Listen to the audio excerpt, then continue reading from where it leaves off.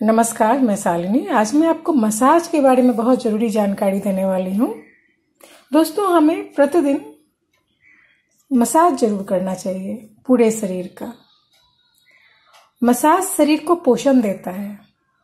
हम जब मसाज करते हैं अपने शरीर में तो हम सभी जानते हैं कि ब्लड सर्कुलेशन बढ़ जाता है उससे। साथ ही साथ, वो त्वचा के रोम छिद्रों को खोलकर और उससे जो गंदगी है उसको बाहर कर देता है। इसके कारण त्वचा बिल्कुल सॉफ्ट होता है और साफ़ भी होता है, सॉफ्ट भी हो जाता है और साफ़ भी हो जाता है। इसलिए मसाज बहुत अच्छा चीज़ है। साथ ही साथ मसाज शरीर को पोषण देता है। हम तेल से मसाज करते हैं तो वो शरीर को पोषण देता है। अगर हम प्रतिदिन मसाज करते हैं तो हम लंबे समय तक जवान बने रहते हैं। हमारी वृद्धावस्था देर से आती है। बहुत थक जाते हैं काम करते करते तो मसाज कर लेने से थकान खत्म हो जाता है। जो वायु के विकार होते हैं, दोष होते हैं शरीर में, वो भी खत्म होते हैं। आँखों की ज्योति बढ़ती है। साथ ही साथ नींद बहुत अच्छी आती है। मसाज कहाँ कहाँ ज़रूर करना चाहिए प्रतिदिन, वो मैं आपको बतला देती हूँ। अपने सिर में, अपने कानों में और साथ साथ अपने पैरों में मसाज ज़रूर करें। पैरों में जब हम मसाज करते हैं तो तलबों को कभी नहीं भूलना है। तलवे में मसाज ज़रूर करना है। इन तीन जगहों पर मसाज विशेष रूप से करना चाहिए। तेल शरीर को पोषण देता है, मजबूती देता है। ये दोनों ही काम तेल के कारण होता है। आप देखते हैं, बच्चों को मसाज किया जाता है, उससे उनका शरीर पुष्ट होता है।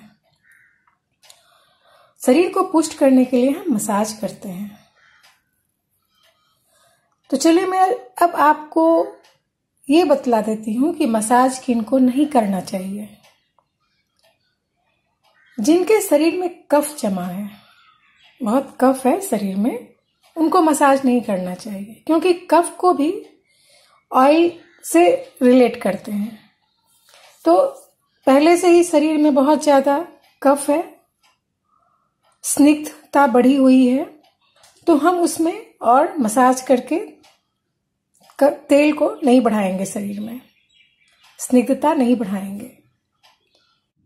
एक बात मैं इसी समय बतला देती हूँ, जिनको बहुत कफ होता है शरीर में, खांसते छींकते बहुत समय तक रहते हैं, या जब आपके शरीर में कफ बढ़ जाता है, उन लोगों को फल और दूध बिल्कुल बंद कर देना चाहिए, बिल्कुल नहीं खाना चाहिए, क्योंकि ये दोनों कफ को बढ़ाने वाला है। जैसे कि मसाज करने से मना किया जाता है, वैसे ही फल और दूध भी मना किया जाता है कफ वाले लोगों को। बिल्कुल बंद कर देना चाहिए। जब तक आपके शरीर से कफ बाहर नहीं हो जाता, तब तक। साथ ही साथ, जिनके शरीर का शुद्धिकरण हुआ हो, पंचकर्म क्रिया किया जाता है शरीर का तो उससे शरीर शुद्ध होता है। तो जिनके शरीर का शुद्धिकरण हुआ, उनको भी मसाज नहीं करना चाहिए। और जिनको इनडाइजेशन का प्रॉब्लम रहता है, उनको भी मसाज नहीं करना चाहिए, क्योंकि पहले से ही शरीर में गर्मी बढ़ा हुआ है तो मसाज करके और गर्मी नहीं बढ़ाना है। इसलिए उनको भी मसाज नहीं करना चाहिए। दोस्तों, मैंने आज आपको बताया कि मसाज क्यों करना चाहिए, उसके क्या फ़ायदे हैं। आप मसाज ज़रूर प्रतिदिन करें, सिर से लेकर पैर तक करें और स्वस्थ रहें। उम्मीद है आप सबको मेरी ये वीडियो पसंद आएगी। पसंद आए तो लाइक ज़रूर करें और मेरे चैनल को सब्सक्राइब करना ना भूलें। धन्यवाद।